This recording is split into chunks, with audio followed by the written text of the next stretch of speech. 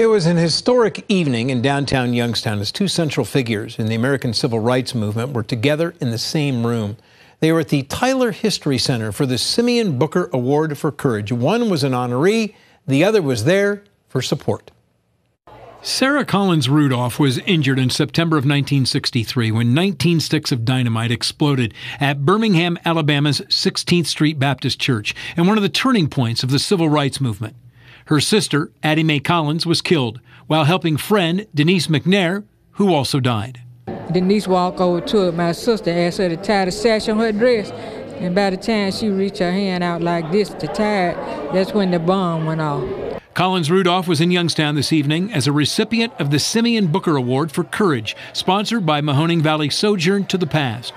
In the same room was Minnijean Brown-Trickey, a previous Booker Award winner who was one of the Little Rock Nine, who in 1957 integrated the all white Little Rock Central High School in Arkansas. It's a moving, moving experience for me to be here, and I'm honored to be with her.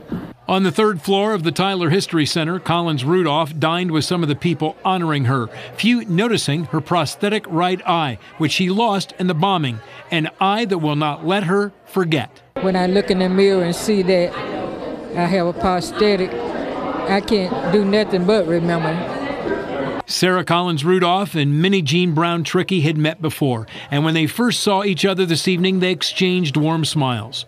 Brown-Trickey was surprised that Collins Rudolph had been speaking of her experiences for only four years. So, as a society, we ignored her for 45 years. And that brings to mind the issue of what we're going to teach our young people, how we're going to teach it, and how some people don't want us to teach it.